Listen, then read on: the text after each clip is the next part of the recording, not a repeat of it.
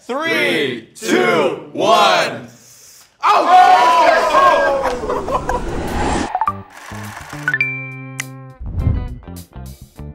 Hey guys, it's Nicholas from Build-A-Boot, and today I'm hosting a very special episode of Versus One. We've brought in eight guys to speed date two bachelorettes, and we're gonna find out what really matters more to them, appearance or personality.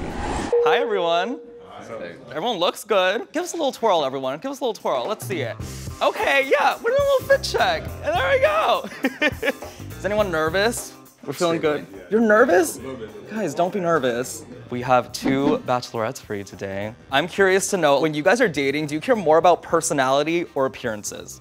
Which one do you notice first?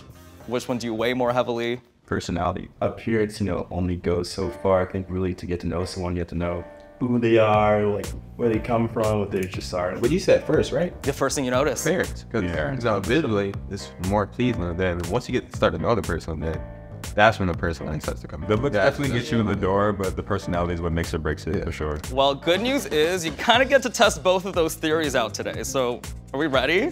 Feeling good? So, welcome to curtain number one. You're gonna meet bachelorette number one, but you're only gonna get to meet her personality. Okay, I'll let you guys get to it. I'm just gonna I'll, like leave you guys. Do it. Good luck. Hey there, how's it going? Hi, Hey, nice to meet you. I'm Dylan. my name is Dijon by the way Dijon. I'm Megan. What are your uh, hobbies? I like cooking and baking. I love to go to the beach and just lay there. I love to read. I'm a math tutor also, so. Has there anybody ever approached you and was like, Megan? From, you know, Key & Peele. You know, yeah, yeah, from, from Key & Peele. What was that? You know, from Key & Peele. Oh my God, I'm Megan. Tell me about yourself. I know it's like the worst question ever, but. No worries. I'm, I guess like the sensitive, artistic type. I guess I'm a Cancer. I'm from Virginia. Oh, VA, what you doing out here? Um, I just moved out here for work. What you do? Social media. Oh, Jesus. I know, I know. One of those. First red flag. For, wait, wait, for who, for who, for who? Uh, myself. Oh, Jesus.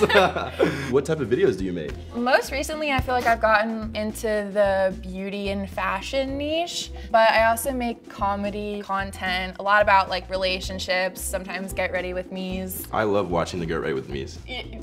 I, I absolutely love them. Whenever I see them, I don't skip them. I have to watch them all the way through. I know, they're so good, and they're so fun to make too. I do social media as well. So I- I'm, I'm vegan and I make food, so that's kind of my thing, yeah. My best friend's vegan, so I try out some new recipes with her every once in a while. Yeah, that's awesome. Well, how do you like it? Do you like vegan food? Yeah, it's fine. I mean, I've never been vegan, but the food's good. So what is your ideal first date? axe throwing just something interactive Oh my keeping goodness. engaged in oh Honestly, I've never done that before, and that sounds like a blast. what about you Something I would love is like getting a picnic blanket, throwing it down on the beach somewhere where there aren't a lot of people, getting a bottle of wine and just drinking from the bottle and looking at the ocean. That's like the earliest thing I could possibly say, I think, but I love it. Is that interactive enough for you? no. i take it I have an idea. Uh, would you like to go to the beach and have a picnic and drink some wine? I love it. Um, I, I bring up. Have you played the game We're Not Really Strangers? I've heard of it, but I haven't played it. Tell me about it. There's like three stages, and um, it's just you know little by little opening each other up and just getting to know each other. Oh my gosh, how intimate, how scary. Yeah, yeah. I'm not gonna lie. It's ended with like tears sometimes, which is Oh. really nice. And you want to play that on our first date? Why not? I don't know. We're I just mean- like crying on a beach with a bottle of wine. You know what? But It's, it's like- fine. I'll take it. I think everyone says this dating in LA sucks. Oh, I'm Um, actually from Sacramento. Wait, did you guys like you you live in LA, right? No, I don't. I don't live in LA. Oh, okay. I'm. I drove all the way down here just to meet you. Oh, how sweet. Wait, that's so cute. Okay. Do you speak Spanish? No. Do you speak Spanish? I do. See, nací en Mexico. I was born in Mexico. Oh my god. But I came here to play soccer. I'm actually a photographer out here. That's kinda sexy. I appreciate that. Thank you. what, photographer or soccer? Uh, well, Both? all of it. Okay. Want to just do a bit of like uh, word association? Word association? Yeah. Yeah. like, okay. uh, yeah. Yeah. Yeah. No, that's so okay. fun. So like uh, first word, I guess, uh, family. Mine. Uh, just, uh, uh, that's that's something. Uh, veganism. X. One of my X's. Volleyball. Oh, fun. And the last one, I guess, uh, One Piece. Swimsuit. I'm confused. Am I saying something wrong? Y'all are laughing. I mean, it was just, it was just getting good. Wait. All right, welcome to curtain number two. Ooh. Ooh. Here you're gonna meet bachelorette number two, but there's a bit of a difference. You're gonna be able to see her, but you can't talk to her at all. And she can't say anything back to you guys either. Alrighty guys, you ready? Yeah. Yeah! Three, two, one.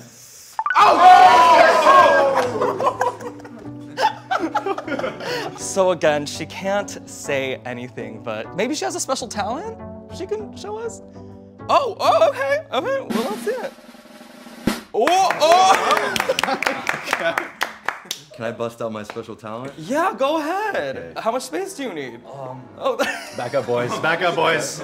I grew up in the circus when I was five. Oh, so I can balance. This guy can do everything. Let's go. Okay. Okay, I can balance too. Check this out. Well, it's not that impressive if I have to hold you. Uh, okay, let me go then. Whatever you say.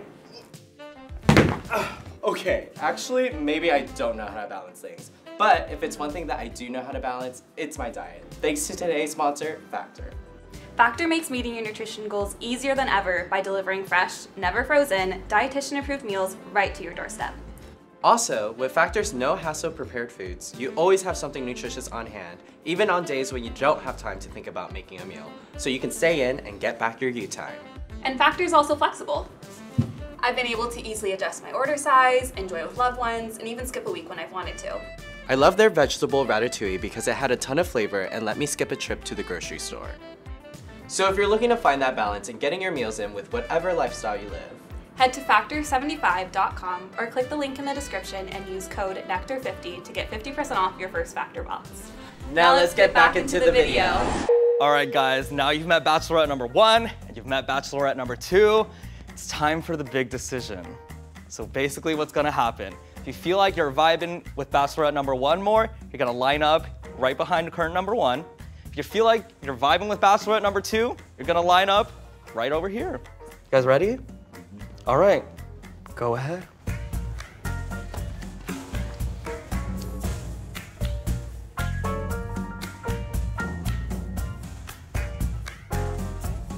Make whatever choice feels right. Listen to your heart.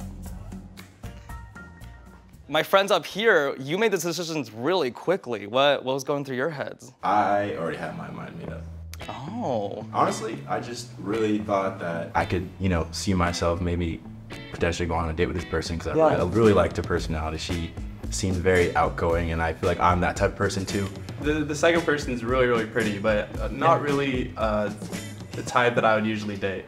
Yeah. Um, yeah. Actually, number two is like usually what I date, but um, I don't know. We had a great conversation, and Yeah, you don't want to give that up. no, I'm down for that beach date. My two friends who are in the minority, but you're standing strong. Tell me what's going through your head right now. What made this decision for you? It was the Megan thing, you know. She just didn't go with the bit, and it's unforgivable. Megan, come back to the bar. Megan Yeah, no, for me, in the time that we did have, um, I didn't necessarily feel like we connected a whole lot. And then initially, just looking at Bachelor number two, I just felt initially there would be more to, uh, to gather from there. So that was what behind my decision. We're gonna reveal what Bachelorette number one looks like, and you're gonna get a chance to kind of vibe with her in person. All right, y'all, are we ready to meet Bachelorette number one? Yes. Three, two, one. Oh, There's no one there. Oh, what's up? I was like, wait. Wait a minute. We know you. So, you guys have been dating the same girl in both curtains. The boys have made their choice, but Megan, it's time for you to make your choice. Do you want to bring line number one into the next round of dating, or do you want to bring line number two into the next line of dating? We have this line who picked you for your personality and you're speed dating. You have line number two who saw you and they were just so mesmerized by your beauty that they picked you. Do you have a decision made? Yeah, so basically they hate my personality and they hate the way I look. So no! no, okay, okay, hear me out. I've, I've been thinking about this since we've been standing here.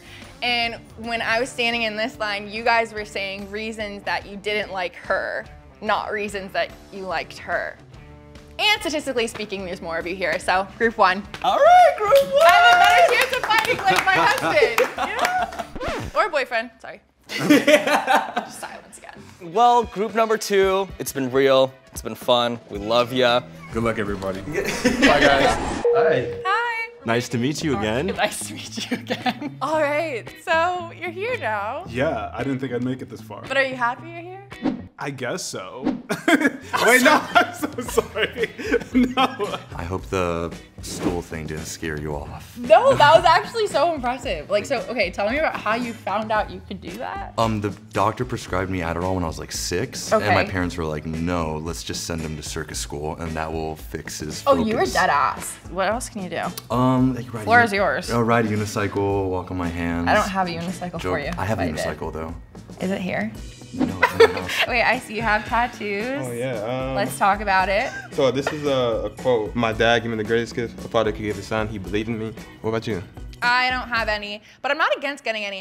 Um, I, I thought about getting one on my spine, but the problem is I have scoliosis. Oh. so I think about it, and it kind of makes me laugh because I'm like, it would be like if I wanted it to be straight, it'd actually be like curved. a snake. Good idea. Yeah. I like it'd be good. You gotta try it. We'd be like, yeah, Yeah. that's a great idea Yeah, actually. Where do we leave off? You didn't know what One Piece was. So Okay, tell me about it. It's a cartoon about a pirate with rubber powers. It's super stupid, but it's deeper than what I just oh, said. Okay. It's been going on for like 20 years or so, and I've been following the story along for like eight. And I have an obsession like when I start something, I want to know how it ends. I totally So get it's like- that's like me with Riverdale. Oh it's like horrible, right? No, it's, it's so no, horrible. it's horrible. Like I can't, I can't stop. I just need to know what happens to them. Do you like to travel?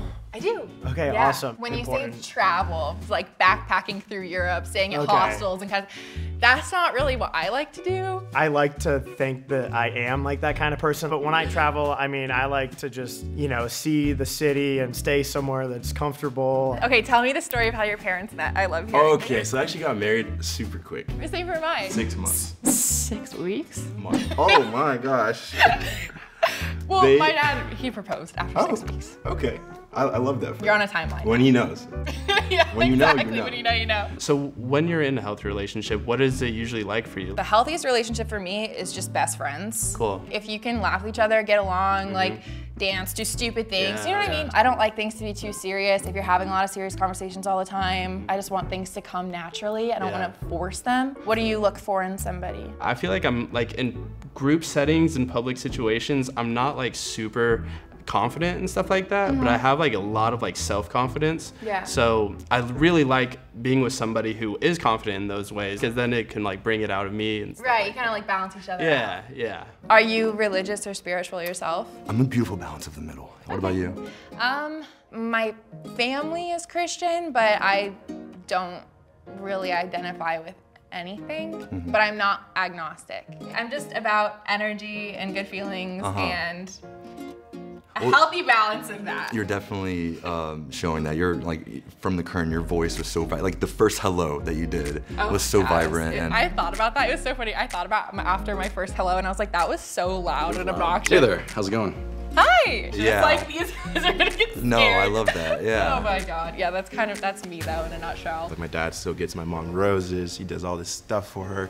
That's the type of relationship that I want. Yeah, that's how I feel too, like with my parents, like seeing how much love they have for each other and how much they love like all of their kids too. It's just been, I feel like that is my relationship that I kind of aspire to have. okay, nice meeting Nice you. meeting you too. And that's a wrap. Megan, how are you feeling? I'm feeling good. Amazing. Well, we're kind of at a moment of truth right now, guys, and Megan's gonna pick one of you to possibly go on a date outside of these four walls. I think I've made my decision.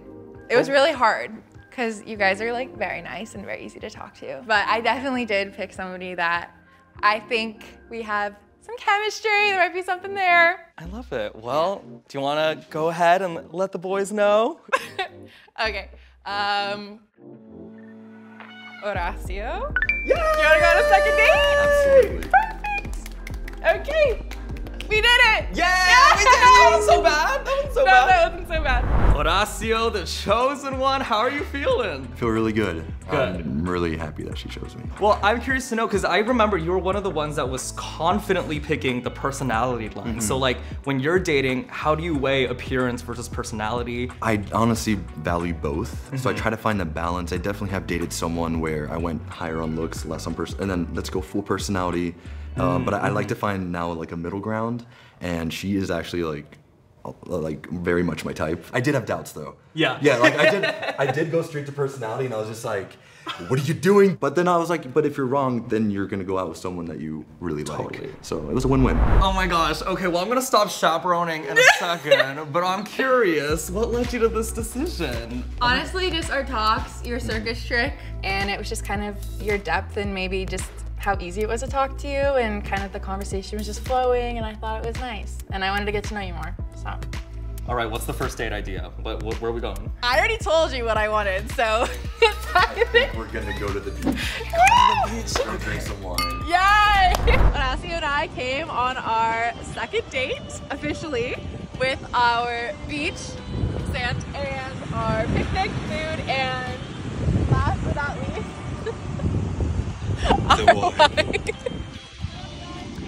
Thank you, Jubilee. Thanks, Jubilee.